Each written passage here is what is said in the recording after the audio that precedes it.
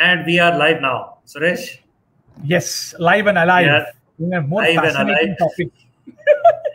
Last time live for sales, sales is such a fascinating topic. You cannot be, you know, not live. You cannot be not alive. You're a dead guy. You tell him about sales. You know, sales guy will open his eyes. Absolutely. But yet, you know, you need not be jittery and excited. You can also be suave, calm, composed, and yet be a exciting sales guy. That's the what we will have today rolled out. The, the, the, smooth sales guy, yeah. Absolutely, like the James yeah. Bond, the smoking one, no. The, the the smooth sales guy, but not the smooth talking sales guy. Absolutely, you said it. Effective. Okay, uh, let, let's let's go to the intro video first. Yeah. Yes. Yes. Hi guys.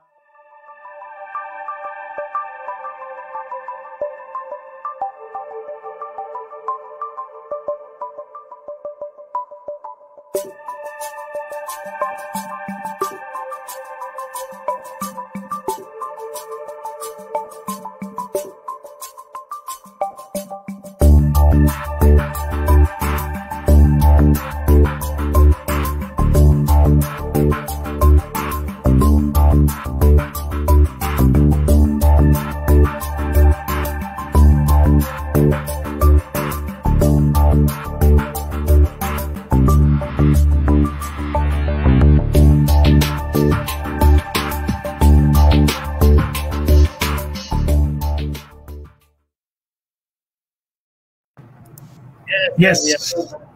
The music mesmerizes me. I'm in a different zone, not in the mood yeah, to run the show. But yeah, nice, nice, music. Yeah, you need to have the we need to have the yes. music extended and play in the background while we speak. Exactly, correct. Lull us into sleep. But sales is all, all about being alert, being in the moment, being taking action on the move. That's what sales is all about. That's the guy today. Hi, wonderful MSMEs and wonderful entrepreneurs and professionals. An amazing topic today of how to handle major accounts and governments. It is not the same at all. And as MSMEs become more ambitious, more bigger opportunities open up. It's a great topic today to delve on and understanding how to sell to the big fellows. And with me, like Sandeep said, the smooth talker nahi, but the smooth guy, he's the guy who's not only sold high and wide, but also far and wide. You talk of any nooked of this country, he has gone there in his SUVs or is in his sedans or his cars. He's been the guy on the field, the smooth guy. None other than who comes in. And there you go. Kaushik Chandra. Hi, good afternoon, everybody. Yes, hi, Kaushik.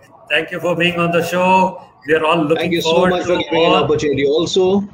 No, we're all looking forward to what, you know, the, the tips that you have as far as uh, uh, Uh, uh, selling to large organizations are concerned, you see what happens is uh, uh a lot of our audience consists of you know very many MSMEs, and selling into a large organization or a large company is sometimes very daunting you know, because the MSME entrepreneur is always overwhelmed with the fact that you know the organization can be larger and you know they can be pushed around uh, and they really don't know what to expect. So uh, today's tips are going to be very interesting. But before we get to that, uh, a little bit more Suresh has about your background and you know where you've come from and how has been your journey.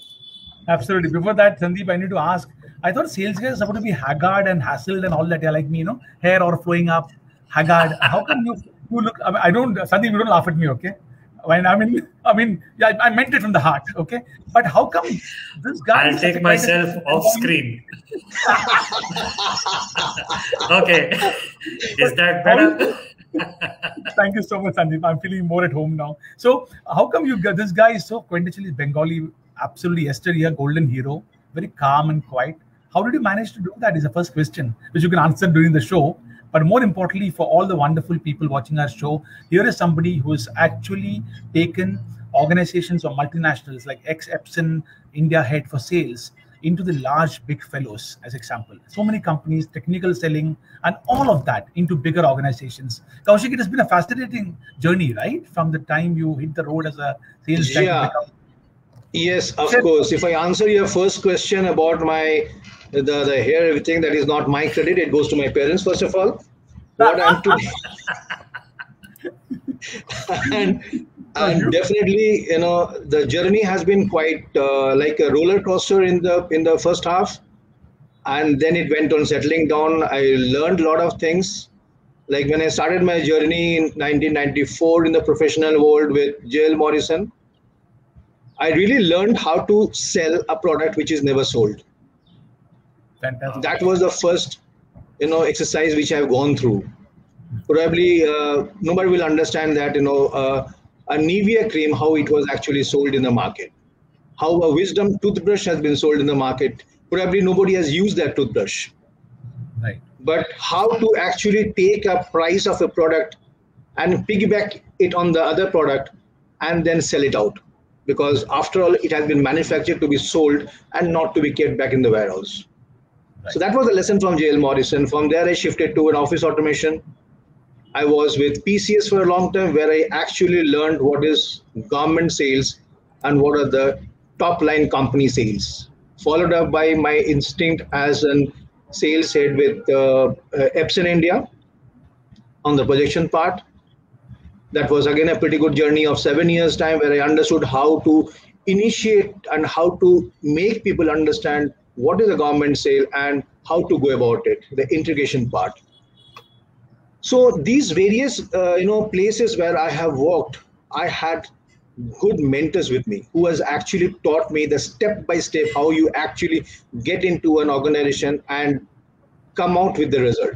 That's very important Fantastic. Very well said. You know, a very, very important point uh, I think, Kaushik, you brought out is that a lot of salespeople, you know, uh, we need to have good mentors, which also means, you know, uh, one is that the organization provides mentors. The other is from a salesperson's perspective. I think the salespersons themselves need to be open to the fact that, you know, that they could be mentored. Because if you're not willing to listen, to somebody who you know who probably has more experience and wants to guide you you probably will lose out on a lot of the learning that has already happened. Absolutely. Institutional sales is almost so much of test match play. The test match temperament is so crucial. And when you mentioned jl morrison whether it's b2c or pcs or epson india in all the aspects the institutional sales comes out so well. And it's so interesting you mentioned that it was supposed to be sold not to be kept back in the warehouse. And how much of marketing and sales interplay also goes into institutional sales. May not be conventional marketing in the in the technology uh, portion, but yet it's the interplay is so very fascinating, amazing.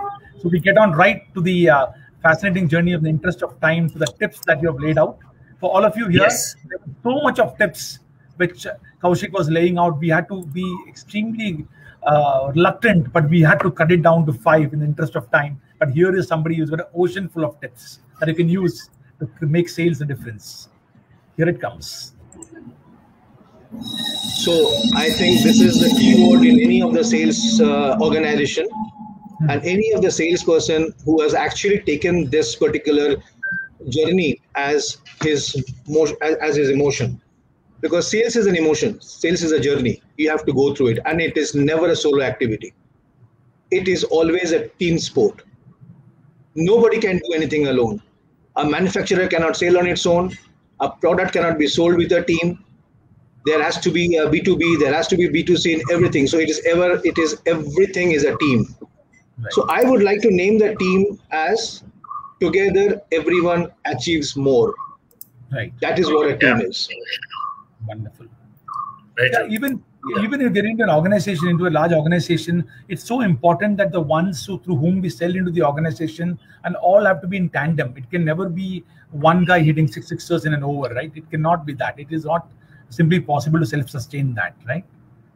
And i think in b2b and in major accounts all the more right? It has to be a team game. Absolutely. The organization. You know, it, you know it's it's ironical because a lot of salespeople out there you know they they hear stories about sales guys you know being the heroes and they always believe that you know uh, rather most of them believe that they can do this themselves on their own. What you rightly pointed out is that you know you need the support and you need to be able to leverage your other team members.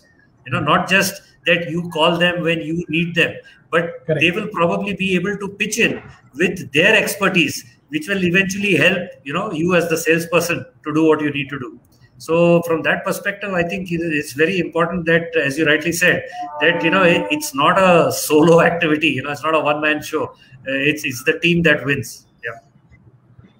Absolutely. Absolutely, absolutely. fantastic. That's a great start. So, uh, has this been a case with you too in your journey from JL to Epson India?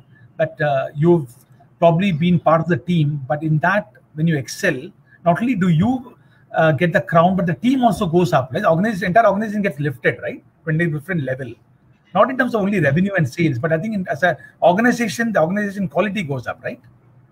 Exactly, because see, it's a culture basically which you work. Even after Epson, when I joined KEI, one of the biggest distributor in the audio market today, who handles around uh, more than you know uh, 18 to 19 products across the world today.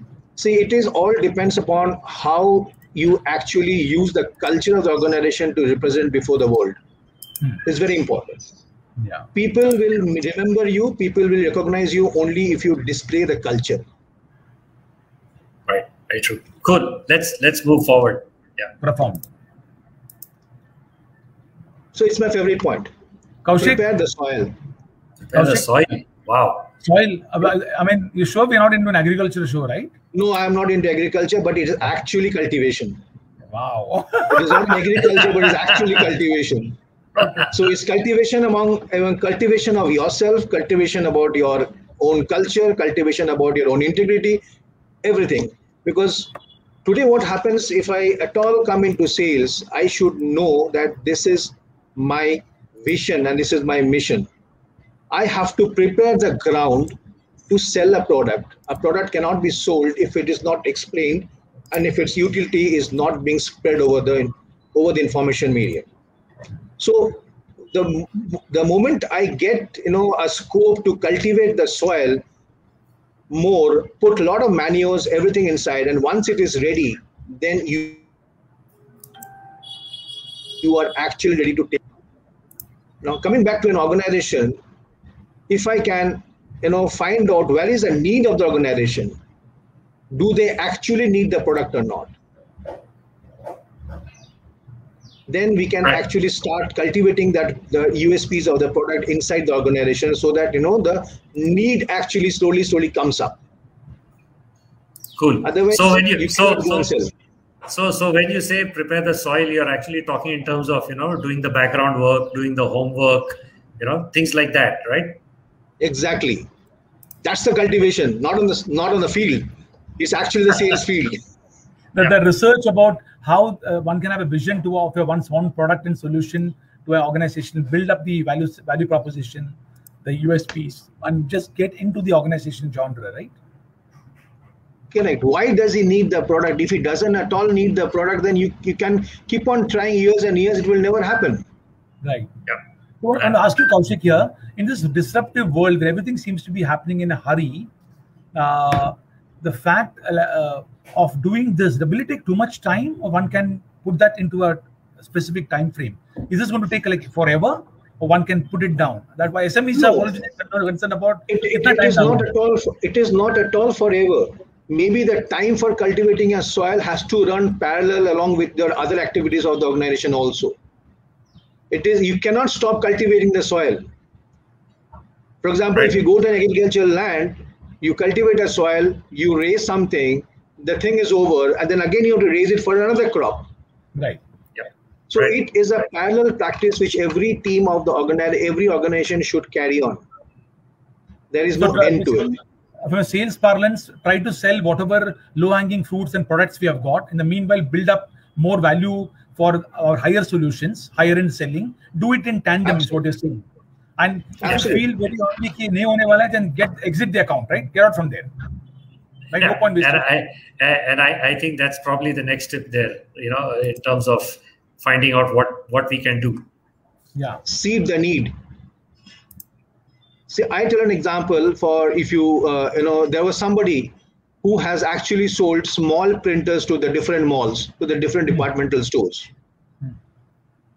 If you remember previously, we all used to have big, big printers, you know, which prints the bills. Right and it was to take a lot of space on the counter of the on the shops but there was one one person who's actually thought about it to cut down the printer in the smaller shape so that it takes a less space in the medical in the medical counter right. and that was the innovation done by epson at that point of time they developed small printers of this size, which you find in all the highways today in the country, in all the medical counters, even in majority of the departmental stores, starting from Big Bazaar and everybody, they all use the small POS printer. Those are known as the POS printers. Right. So yeah. that is the need. That was a need by the organization. I'm very interestingly, you know, Kaushik, this need would have been given back to the backend uh, R&D team by the sales guy uh, himself or herself, right? They understand what's happening in the market. The feedback goes right back. Sales selling is not always about from the organization to the customer, also the other side. It's two way. Other side, selling yes. The feedback. Yes, the feedback of the customer, what actually they need. Right. That's very important. What actually they need. Correct. Yeah, and and you uh, it says see the need and spec the USP. Yes. Could you just elaborate on that? Yeah. USP is today I and you has got the same product. Now the question is why me? Why you will why the customer will buy from me? Right. I definitely yep. has to have something which is different and which is better than my competition. I need to know my product and more than I know my product, I need to know my competition product also. Uh-huh. That yeah. is very important. I will know my product because I am in the company. The company will train me, but who will teach me about the competition product? If I don't know the competition, how will I know myself? How better I am or how bad I am? Yeah. Yeah, you must know. You must one must know the competition. That's absolutely right. Very, very critical. competition. Yes, because if we don't know the competition, then we will get staggered at one particular place, which is known as price. And once the discussion gets into the price, your game is over. Very true. Uh, I, I, see a lot of sales always get stuck over there. Uh, you know, Absolutely. a lot of salespeople, a lot of salespeople turn around and you know say the things like, uh, "Well, the customer is only talking about price." You know, and I at that point in time, I think in my mind, well, because that's probably because you didn't have anything else to say. Absolutely. Definitely, the person who is coming back, you say that you know the, the customer is wanting only price. I'm not denying that there are people who wants only price, but there are ways to calm down the customer and take him away from that particular subject. Make him go round merry round and come back again to the price he can be taken care of. Yep. That and is how the important part is usp uh, in my experience you know, Kaushik, and maybe i would love to hear your perspective there are so many small small adjustments one can do on the product. And the usp suddenly becomes so very uh, intelligent so very uh, attractive USP does not mean a total overhaul. It can be small adjustment and tweaking of a value proposition, and the unique selling proposition really becomes unique, isn't it? Yeah, it's a very simple example. Today I was seeing the advertisement in the paper. One of the car makers, they just increased the warranty of from two years to three years, and from seventy thousand kilometers to one lakh ten thousand kilometers. Right. So they have not changed anything. They have not changed the right. structure of the car or anything. Correct. They have just changed that warranty from two years to three years and from 70,000 to 1 lakh 10,000 because people will not see that four point with literature what is when terms and conditions apply. What they see that is exactly written on the 11 points right. on the top. Correct. So when I called up that guy today before this meeting, so what it is actually, they, they told me, sir, it has to be on the plain road we only take as a manufacturing defect. Oh my God. yeah, read, read the fine print, right? Exactly. Exactly. Read the fine print. But so even that is also a process. You cannot deny yes. that. Yes. Even if the yeah, fine print was not there, even if the fine print was not there, even one does not depend on fine print. Even just by communicating it differently so that the customer or the prospect really gets value itself defines a USP. I mean, in my opinion, USP creation is a very specific art. Sales guys must master, right? Absolutely. Every time. The same See, it's very important. I remember USP. what I remember what I've learned from my PCS background, from the Patni computers background. Right. We used to take the competition brochure as well as the self brochure together. Okay. And try to find out how to create that tender with a one or two points which will eliminate my 90% of the competition.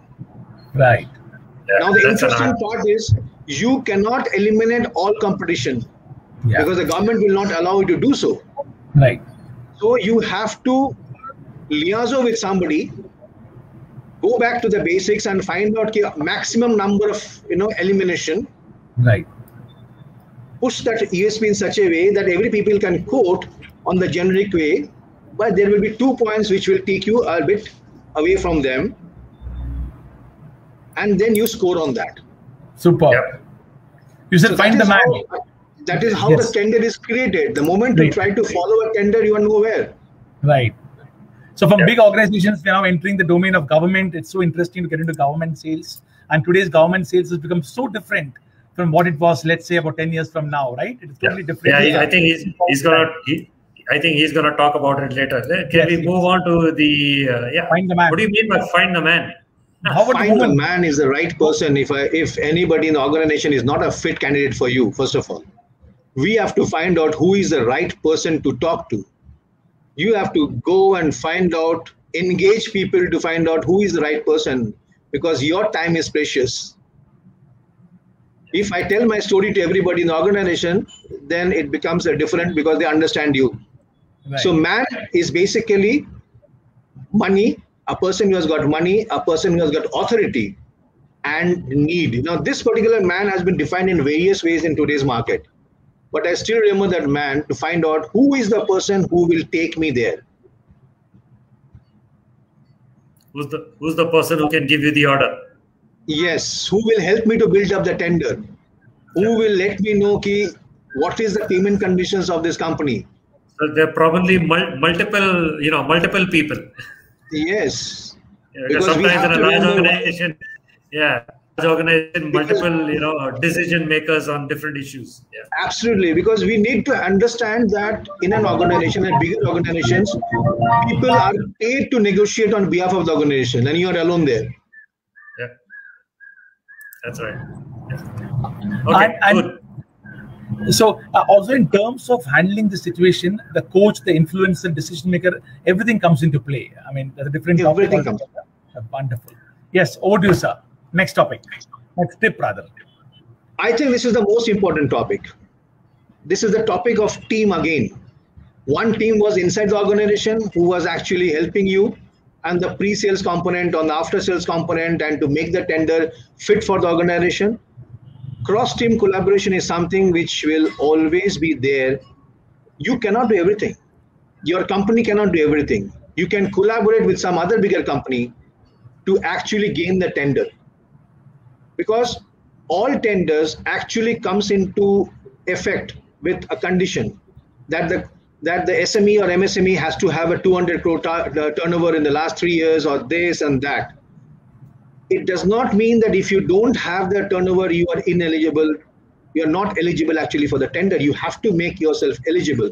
So I talk it as, I tell it as a cross team collaboration, collaborate with good people, with bigger people, and be present on this tender. Because the more you get tenders, the more you win tenders, your turnover will go up. And tomorrow or day after tomorrow, you will directly be eligible for that. So you're saying uh, create a create a consortium of coming together. Right? Create, yes, it is very important. People always go to fight alone. They want the entire thing from them. It doesn't happen in that way. Very relevant, yeah. Okay, so for example, in the in the school of Gujarat, we were only in the time of Epson, we were only supplying printers, but then somebody was supplying desk, the somebody was supplying batteries. So as a whole, there was one one party who was actually buying from all of us and then giving a complete solution to that user. Sure. Right. back to back transparent agreement uh, shown to the government. yeah, well as, uh, exactly. But as a whole, your EMD is taken care of, your Correct. turnover is taken care of, your exposure is taken care of. Right. So you are the credibility of the products. The credibility yes. of the product is taken care of. Exactly. Now your product gets a visibility. In that process, when you go by collaboration, your product gets a visibility. That's very important. Got you. Right. It gives you more chance the next time. Yes. I have my eye on the clock. Yes, yes. the, the final thing is everything is okay unless and until you submit the, the quotation, the tender okay the technical tender passing through the technical tender and then go to the commercial tender most important part is to know the flow of the papers Because in any organization, whether it is a government or a semi-government or a corporate, the files keeps on moving from one table to another table. They don't fly on their own. You have to make them fly, and that is what another relationship engagement with the organization. Where are you? Yeah. To find out where are you and how far are you from getting the order. Right. It's very important. Yeah, because a lot, a lot of time, what happens is, you know, uh, uh, mo- most salespeople they turn around and do what is right and get stuck at a particular stage because you know when, when their senior will ask them, okay, what do we have to do? And they turn around and say, well, you know, I've done everything. You know, now now we have to just wait for them to give us the order. And you don't know that you have been, you know, taken care of by somebody else, because there are instances and there are reasons why even an L1 also sometimes does not get an order. Right. There is no place of complacency anywhere in a tender. Correct. And today, of course, we have gone into a different market, which is known as a reverse auction, which has become more dangerous. Hmm. The reverse auction actually plays online, where you have to be on tip of your bottom line. You cannot play a reverse auction game unless until you are very much clear about your bottom line. That's right. How much to go? How much to go down till? Yeah. How much to go down because happening online. And, Right. and and there are so many different opportunities at so many different places. And Yeah. I think you're gonna tell us about that next. There you go. So, Wow. oh wow, this is From, from, from agriculture to jewelry, Kaushik. No, No, it's actually a jewelry. It's actually a jewelry. Right. it's a diamond. actually a jewelry. It's the government e-marketplace. wow. But I fail to understand why majority of the SMEs and MSMEs why they don't talk about this. You know, It's the total be the transaction values market. of GEM, Yeah. the government e-marketplace, currently is at 97,000 crores. That's huge. Huge. That is huge. 97,000 crores. As in, as in, Wow. it's, it's live in India as it's going on right now. It's live. It's going on. It's live. It's And- live. Oh, I- and there are government there is part- particularly an agency also who are working on this uh, who are helping the smes and msmes to get them some registered the only thing which they have to play is basically first to quote and get yourself registered there is an organization called startup runaway Okay. which helps people which helps smes and msmes to get registered Wow. Okay, and there are a lot of educational tools on how to actually register also GEM because GEM is particularly there is no tender. If you can create the need as per the second slide, the order is yours. Yeah. If you can create the need, you got the man, Oh wow. the order is Yeah. In the So gem, the- in the gem, the yeah, orders are wait, placed wait, wait a minute. Wait a minute. Say Yeah. that again. With gem, there is no tender. There is no tender. Right. If a government organization wants to buy something and it is Uh-huh. available in, in the GEM website, your product, they can just straight away place the order to you. Okay, so you mean to say the sellers uh, have to go there, register, uh, put their products and services with their pricing uh, on the website, and that's it. And that's it. Wow. So And there- keep on- there and keep on there noticing and- Yeah, there are two and- and- competitors on the same product. and be live on the website every day and check that how many orders are coming and how many you know inquiries are coming Okay. Today what has happened i tell you in That my is or- interesting. organization where i worked for the last kei we were into audio products. We never believed at one point of time that audio products can be sold over a gem but we registered i emphasized on that during my tenure there and told that my to my boss keep please register also in gem because every organization is going to develop a conference hall. They need a speaker Right. Every organization every department is going to have that they will require a speaker because that is the work of the day and then we got there we got a whooping order continuously flowing in Wow. That's Wow. and interesting. the pay, most important is the payments are highly highly secured you straight away get 90% payment on spot Oh, great. That's cool. That is really good.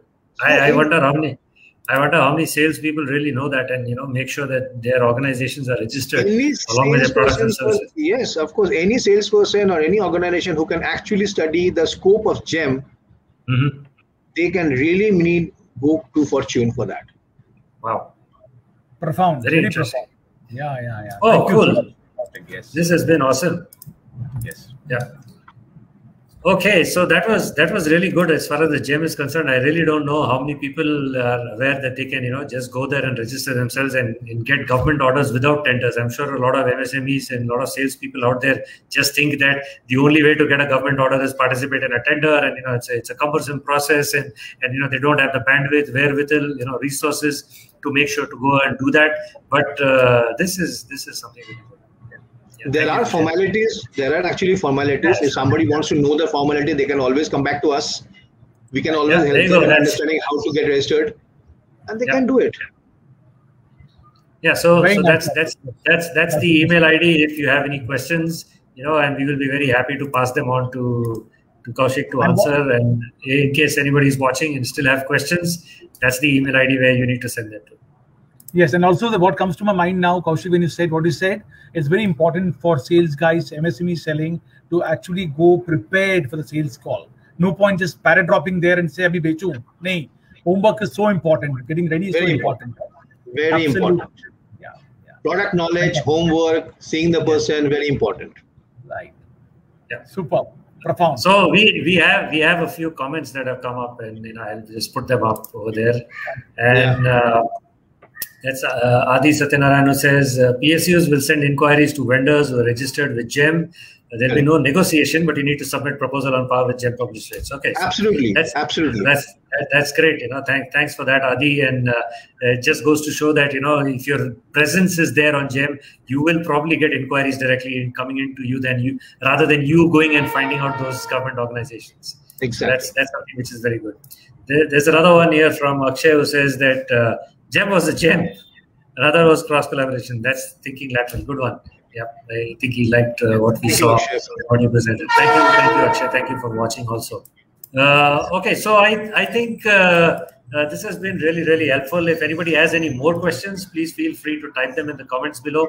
Uh, we will be monitoring this chat and uh, put them onto uh, Kaushik to answer, or you could you know just send us an email if it's a little more uh, longer question, and if you really want some more advice on that, uh, here's where you need to send it to.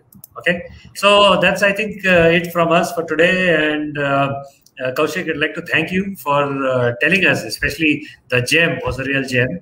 Okay, and I, and I hope everyone keeps remembering that one, right? And um, uh, Suresh, final thoughts on uh, today's Yes. program.